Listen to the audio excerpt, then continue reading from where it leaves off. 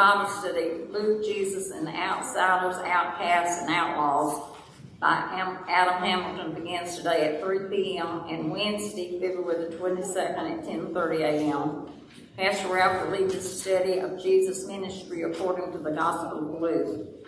Please sign up on the bulletin tarot sheet and place an offering plate or contact the church office. Books are $15. Meetings this week. The trustees meet Monday at uh, 5.30, February the 20th. Finance will meet Tuesday. Leadership will, has moved their meeting to Thursday night because of Ash Wednesday on Wednesday night. All of these meetings will be in the Wesley Bible classroom at 5.30. And I just want to say a special thank you to all of you all who helped us have a very successful um, Valentine's dinner last Sunday. We had a lot of good food, had a lot of good help beforehand, and a lot of help afterwards. I think that's the first, that's the quickest we ever got out of the kitchen after having a covered dish meal. So all that helped, I'm, I'm not name names because I'll miss somebody, but it's so appreciative, and I want to thank all of you for doing it. A special thank you to Georgianne and Melissa because they had us a little entertainment during lunch. So you that missed it, I hope you can join us the next time we have something. Thank you. Thank you, Donnie. Stand as you're able and let's have our call to worship this morning. God, we come to the mountaintop to be covered in your presence. We are comforted by your holiness and your glow. We are comforted by the hope of the mountaintop, where you are so close, so accessible, when there is no doubt of your glory. The mountaintop reminds us of why we worship you. We witness your bright power and your plan for the nations of the earth. As we prepare for worship, God, bring us to the mountaintop. Bring us to the mountaintop so that we may be inspired to do your work in the valley below. Amen. O God of the covenant, the cloud of your splendor and the fire of your love revealed in your Son on the mountain heights, transform our lives. Transform our lives into his image. Write the, your law of love upon our hearts. And make us prophets of your glory, that we may lead others into your presence. Amen. Amen. Open your books, please, and turn to page 103 as we sing that wonderful hymn, Immortal, Invisible, God Only Wise. Immortal,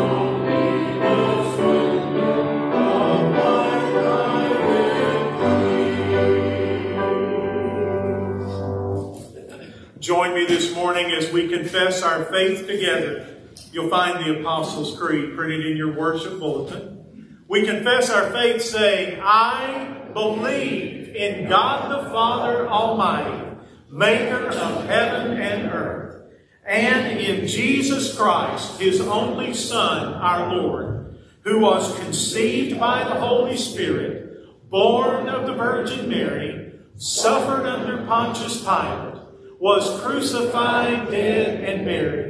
The third day he rose from the dead. He ascended into heaven and sitteth at the right hand of God the Father Almighty. From thence he shall come to judge the quick and the dead.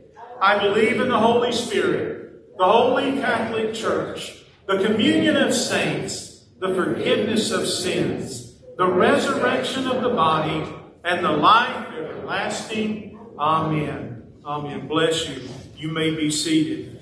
Thank you so much for your faithfulness in giving. Uh, thank you as well, those of you who've been able to uh, to give to uh, help with uh, UMCOR efforts uh, around the world and also near home. I'm grateful for uh, those of you who are able to give.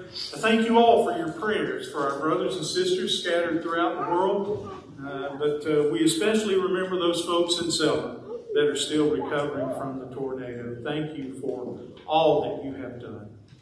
Let's receive our Lord's tithes and offerings this morning.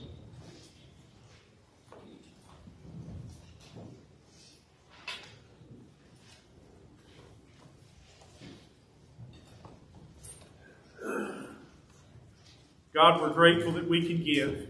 Bless this offering to the glory of your name and the good of your people. We pray in Christ Jesus. Amen.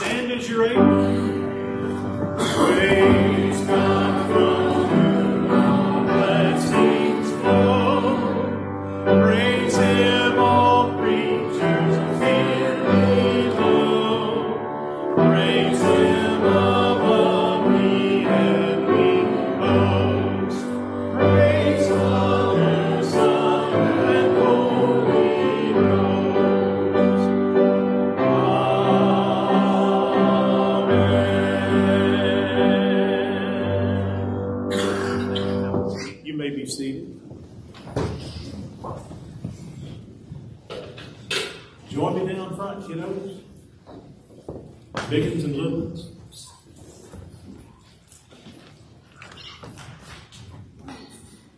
What's up, man? How you doing? How you doing? Good morning, ladies.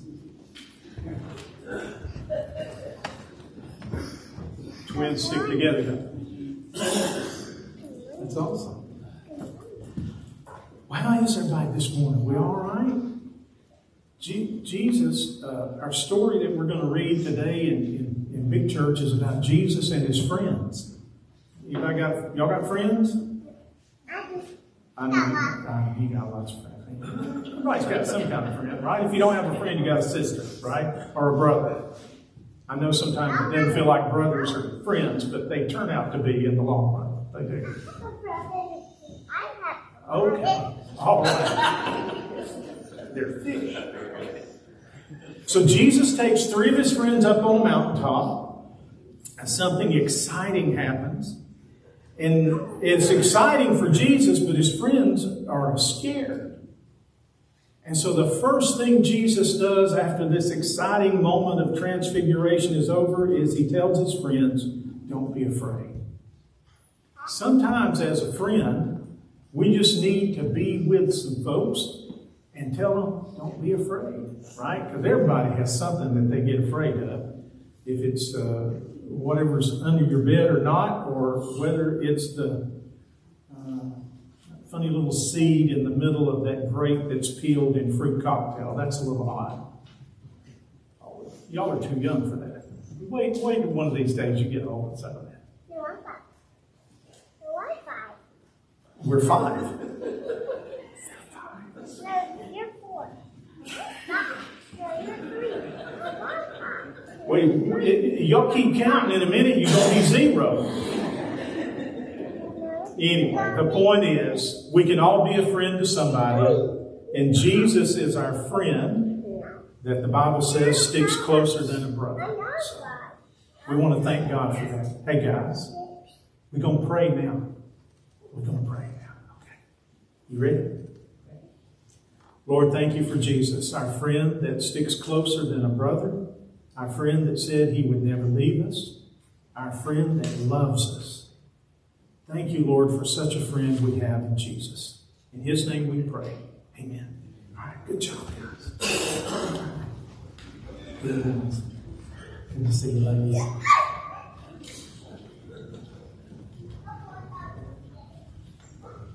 How- How old are they?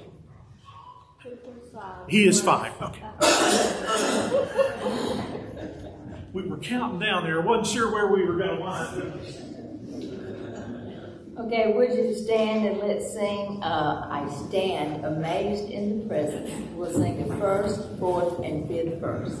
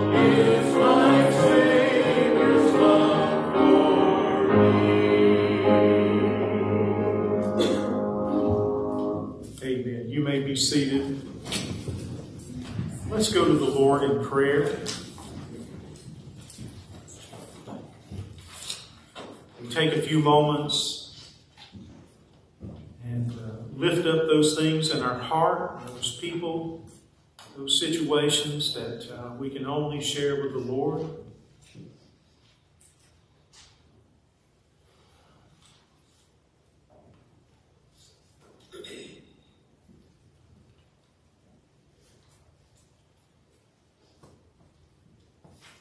And God, we're grateful for your church.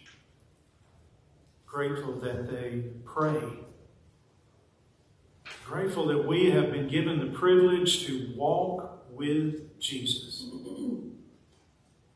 We are especially grateful for the, the presence of the Holy Spirit in our lives.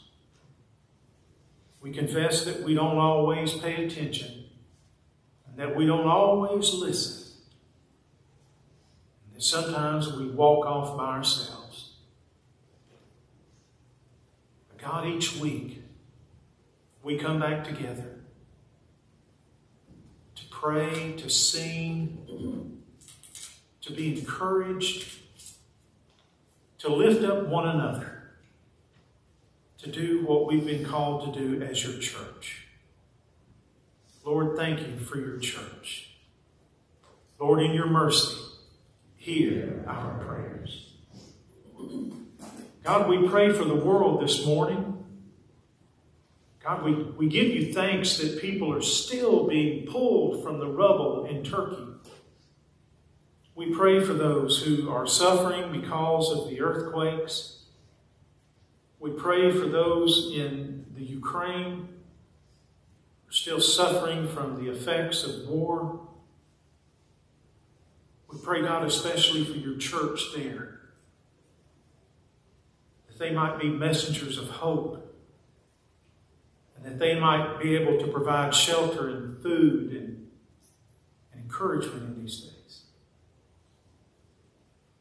We pray, O oh God, for the citizens of East Palestine, Ohio, for that surrounding area, how much fear there must be, Lord, knowing that there's poison in the air and in the water and on the ground, and how frightening that must be.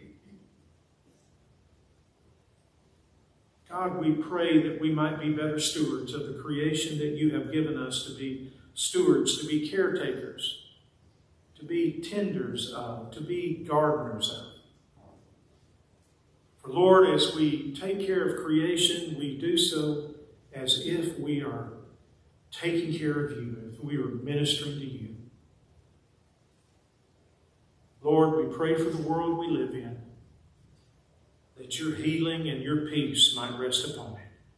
Lord, in your mercy, hear our prayers. We pray for those who are hurting in body, mind, and spirit this morning, for those who are afraid, for those who are awaiting test results, for those who are recovering from one surgery so that they can have another, for those littlest ones among us who are sick with a cold, for all of those, Lord, who are hurting in deep and hidden ways we thank you, God, for the doctors and for the nurses and for the therapists and for the counselors and for the pastors that listen and help and sit with those. We thank you, God, for those who sit with our loved ones. Bless them. Lord, in your mercy, hear our prayers. We thank you, God, for the communion of saints. We know that the group of saints that reside with you in heaven, we know that that group is growing. God, we remember especially this morning Ethel Reese, Dwight Bird, Tina Chancey Jackson, Ann Andrews, Bobby Anderson, Lynn Spinks. May their memory be for a blessing, Lord. We pray as they prayed, as you taught us, Jesus, saying, Our Father, who art in heaven, hallowed be thy name. Thy kingdom come, thy will be done, on earth as it is in heaven. Give us this day our daily bread, and forgive us our trespasses, as we forgive those who trespass against us. And lead us not into temptation, but deliver us from evil. For thine is the kingdom, and the power, and the glory forever. Amen and amen.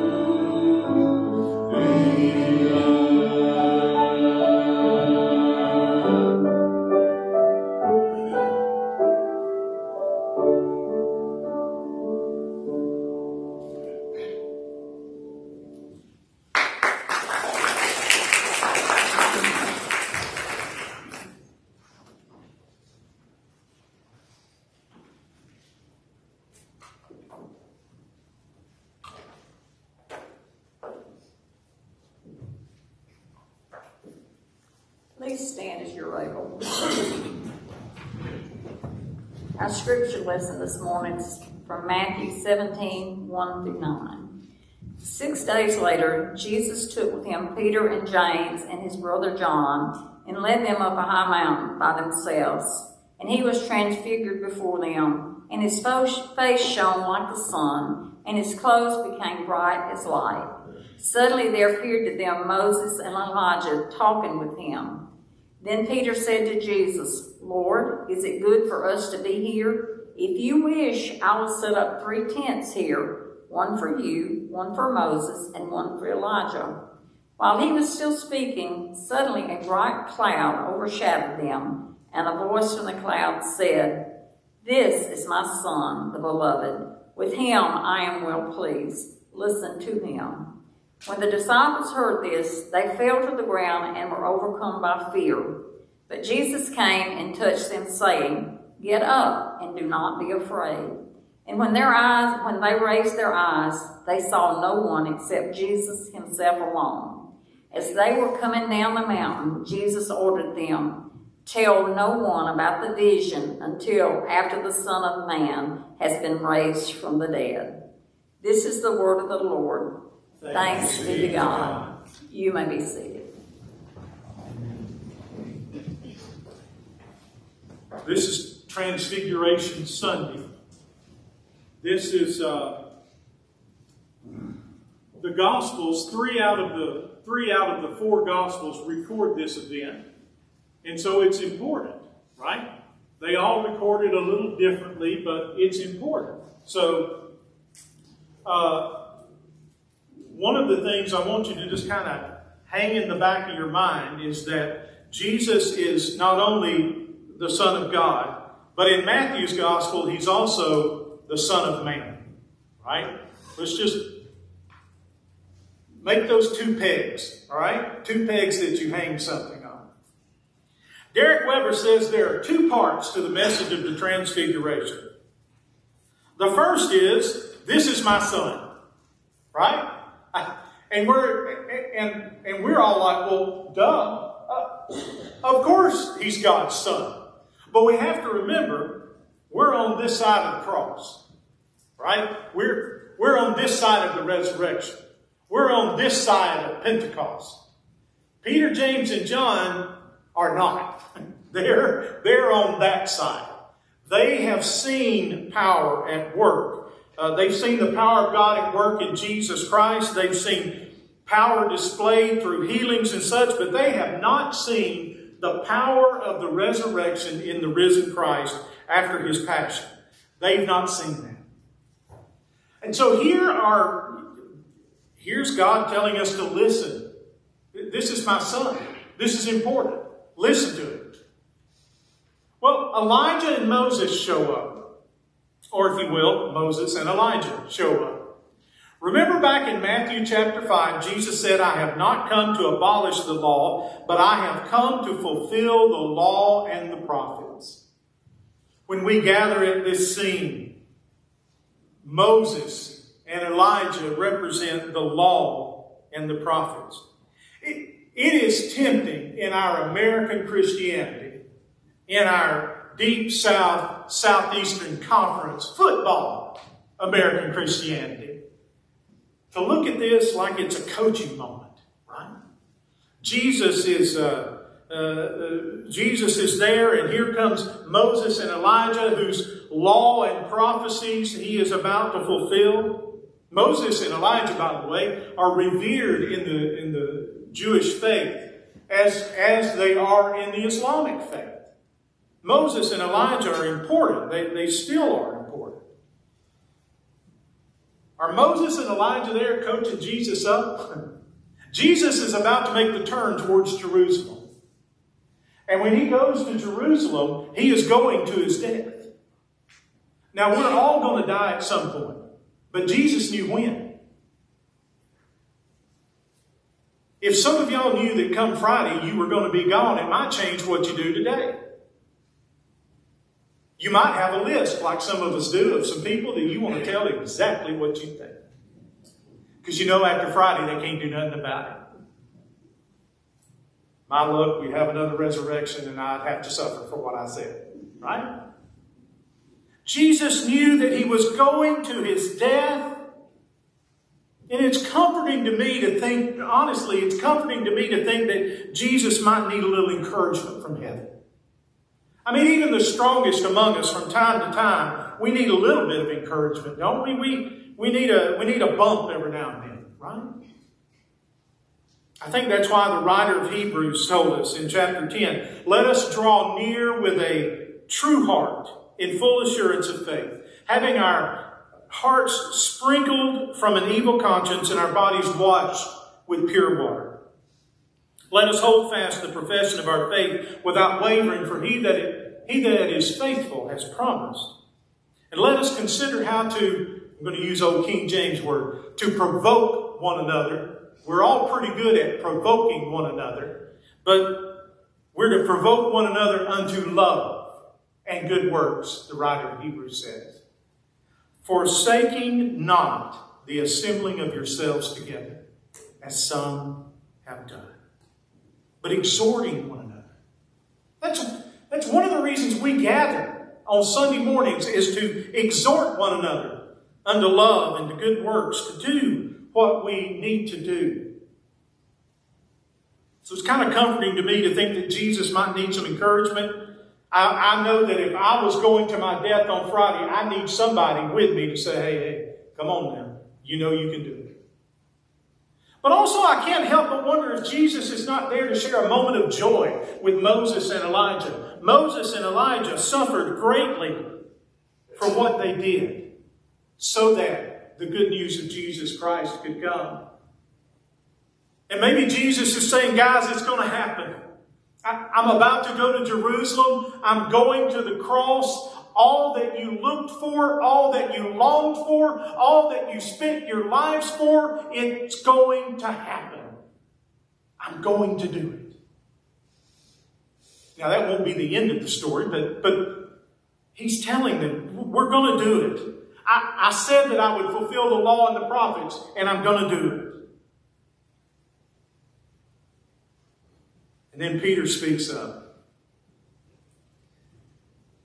I don't know if y'all have this trouble. Maybe it's just people like me, but sometimes you start talking, and then about 30 seconds later, your brain engages, and then you spend the next 30 seconds going, God, why did I? Why? What? Or I, I rethink conversations, and they, they pop up at the most inopportune times, and I remember what I said before my brain was engaged, and I think, what were you thinking? We get nervous and we speak up, right? We get nervous. We, it's awkward. And somebody's got to say something. Well, you don't have to. But we feel compelled to speak up. And Peter speaks up. Here's the second major point. God says, This is my son, my beloved. And then he says, Listen to him. And in my sarcastic mind, I can almost see God going, They are. Listen to him. They are. Moses and Elijah are listening to him. Why can't you listen to him? There's a, a guy on Instagram, KB Lane. Uh, he's become famous with this. That whole, like, duh, it's obvious. This isn't the first time that Jesus has had people told off about listening to him. This is his heavenly father. But, but you remember his mama? You, you remember his mama? They were he she and Jesus were at a wedding in Cana of Galilee. Y'all remember? Something happened and they ran out of wine. And mama said, Jesus, do something about it. And he said, Well, I don't know what's not, not my time. And then she turned to the servants and said, Do whatever he says. I think it's interesting that the Son of God had a mama who didn't take no for an answer. Not even from her son, the Son of Man. That's something to think about, isn't it? I'm sure it was awkward. Now, Folks used to be real concerned about the openness of God, this idea that God could change his mind. And I understand that that might be disconcerting, but even Jesus had a mama. And you know, mamas sometimes give you that look.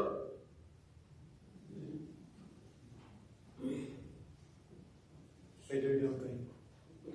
And sometimes, sometimes, right, pop and lock before they give you that look.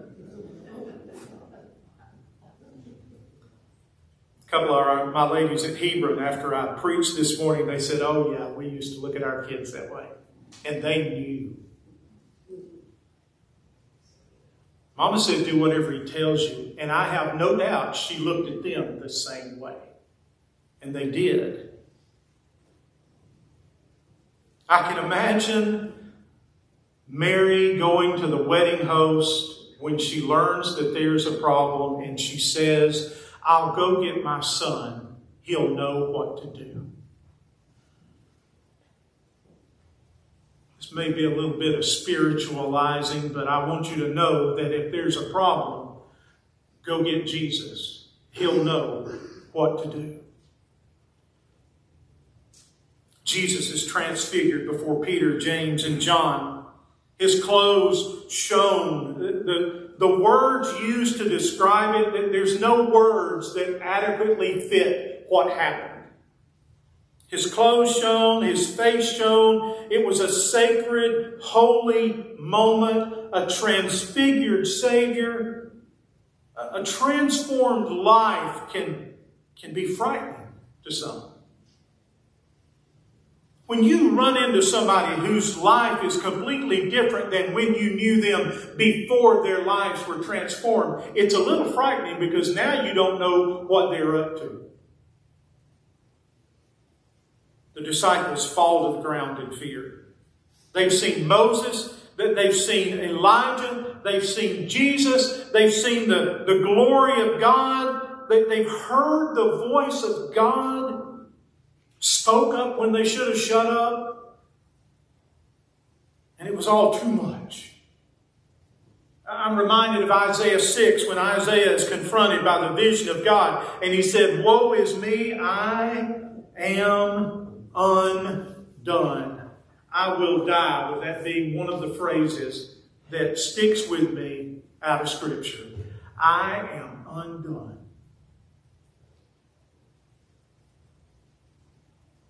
And the first thing Jesus says to them is, Get up. Don't be afraid. You see, Jesus is the Son of God. God made that clear. this is my Son, the beloved. But Jesus is also the Son of Man. It, it, occurs more in Matthew's Gospel than any other Gospel that Jesus is referred to as the Son of Man. Don't be afraid. He knew what his friends were going through. If he were not the Son of God and the Son of Man, if he were not both human and divine, he would not know, but he does. And so whenever you are going through those moments where you are undone or afraid, Jesus knows. You see, Jesus begins to walk down the mountain with them, coaching them up and teaching them, because there's work to do in the valley. We love mountaintop moments. They inspire us. Uh, the awakening at Asbury uh, University up in Wilmore, uh, Kentucky is, is inspiring folks. Re- retreats and moments like the high holy days of Lent and Easter, they inspire us. We love the mountaintop experiences. But we can't see the people in the valley of despair or the slough of despond unless we get down off the top of the mountain. Because you can't see those people from the mountaintop. That's why Jesus went down into the valley.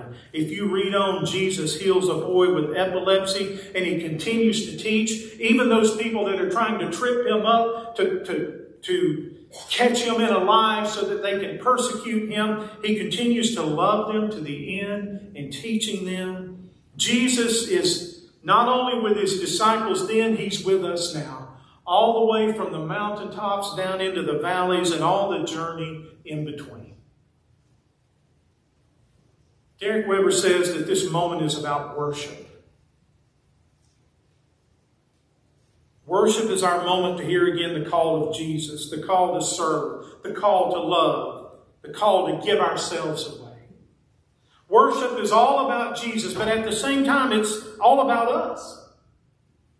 It's about Him as the beloved Son and us as the ones drawn to Him in community and being privileged to be able to listen to Him.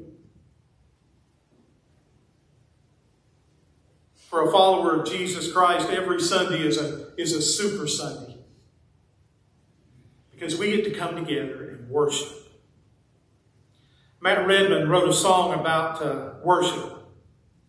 Well, truth be known, he, wrote a song about Jesus. And I think I may have sung it here. I, I sang the Randy Travis version of it because I can't quite get up to the Matt Redman version of it. The words came to me after I read Derek Weber's comments. You search much deeper within through the way things appear. You're looking into my heart. I'm coming back to the heart of worship, Jesus. And it's all about you. It's all about you. I'm sorry, Lord, for the thing we've made it when it's all about you. It's all about you, Jesus. It is fitting that as we head towards a holy Lent, that we have in our minds the image of worshiping Jesus with our hearts and our minds, a transfigured Savior leading us into a transformed life. I invite you to return to the heart of worship. There will be ample times over these next 40, 50 days for you to worship. We gather here each Sunday about 11 o'clock. That's a good start. I invite you to follow the Son of God, the Son of Man, our friend. Worship Him and work with Him to transform not only your life, but the lives of those around you. Amen. Lord, help us to be your servants, whom you called friends. Lord, help us to look to you, the author and the perfecter of our faith. In your name we pray. Amen. What a beautiful way to song to end this service. Would you stand and turn to page 349? Turn your eyes upon Jesus.